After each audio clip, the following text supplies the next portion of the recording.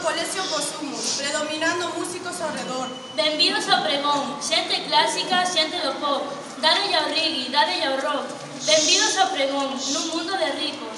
Critiquemos aos políticos que estafar xa é o típico. Estamos aquí, os nenos e nenas, mestres e mestres, recordando os artistas, tanto os que están presentes como os que non, deixando o temor polas ilusións e a dor polo amor. Esperemos que gocedes con moita ilusión, nenos e maiores, coa nosa canción. É a canción das verbas. Onde non existe injustiza, nin as falsas promesas, nin a xente con cobiza. É a chamada do silencio pedindo respostas. É a voz da xente que coas mans loita. É o camiño da liberdade esquecida que os nenos de cuarto rescatamos da cinza. Entre os de Melilla e os de Siria non van poder vivir, faltanlles alimentos que repartir, tanto é que nin a música pode sentir.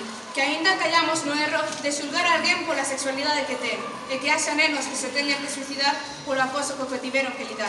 E como dio o poeta nunha canción... Cantas veces deu un home mirar cara arriba para poder ver o céu? Cantas veces temos que ver miserias e vivir desgrazas para poder decatar o que está sucedendo?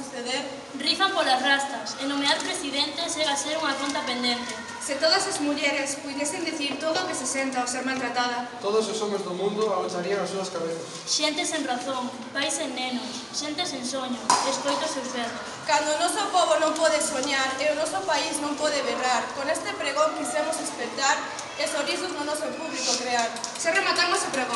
Meco imos queimar. Moitas grazas a todos. Grazas por escutar. Grazas tamén a AMPA. Que un ano máis fixo posible que isto se poida celebrar.